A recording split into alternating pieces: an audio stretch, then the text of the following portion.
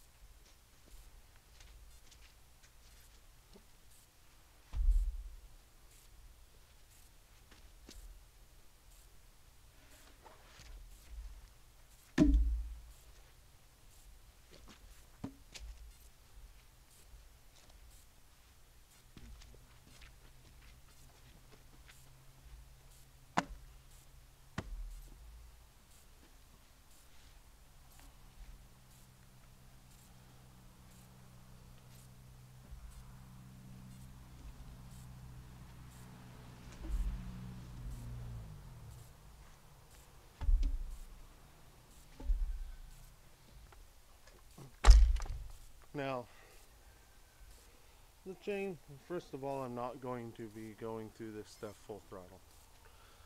Second of all, the chain's not the best it could be. It's actually probably about one or two filings beyond being gone.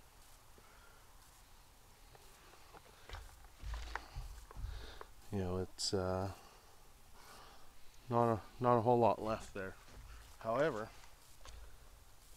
this stuff was almost all pulled. Some of it was just sitting there and rolled around in the dirt. So these are some very dirty locks I'm not going to put a sharp, newer chain on it. This one's sharp enough. And it's almost at its end. So I'm going to use it to get through these. There's no sense damaging a new chain. Okay, maybe I could put one on it. Maybe, what would I save? A couple minutes? Maybe it's a touch harder on the saw. But ultimately, it's not, you know, cutting these couple logs isn't going to do anything to the saw, really. If I was full throttling it and not, not bogging it down because it was, you know, that bad, yeah, it'll do some damage to the saw.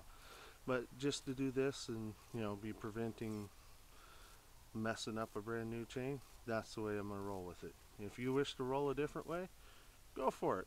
To each their own. But this is the way I roll.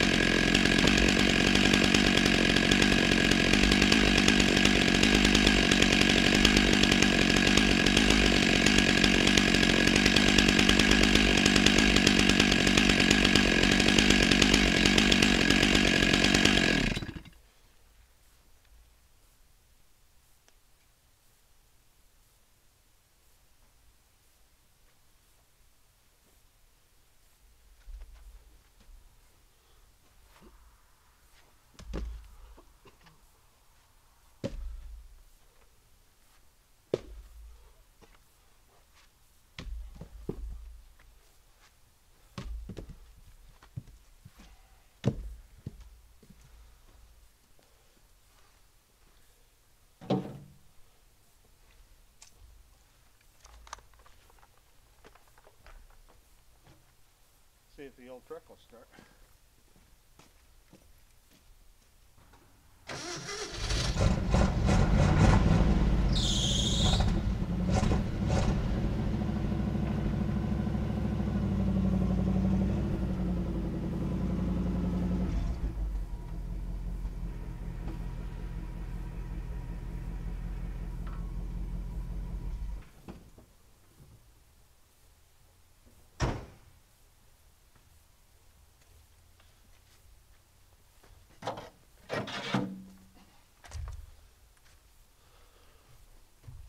There we go.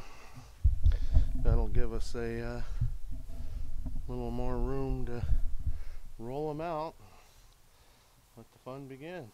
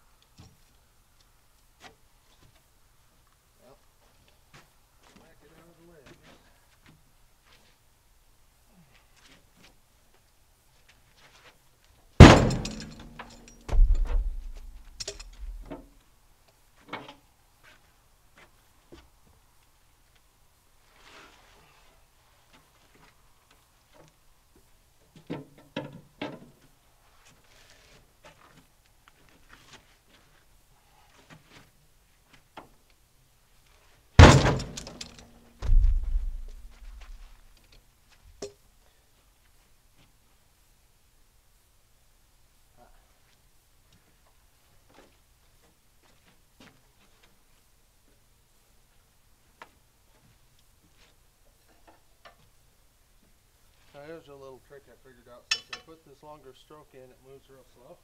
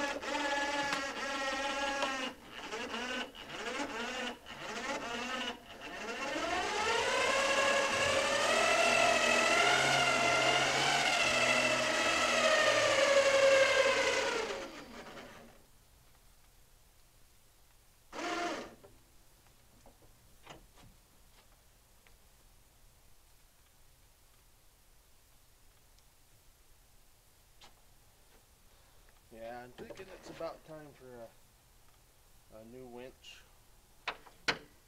When I was loading these, they might have been a little bit big. Winch got hot. Contact wires, uh, the main wires go into the winch. Actually started melting the plastic.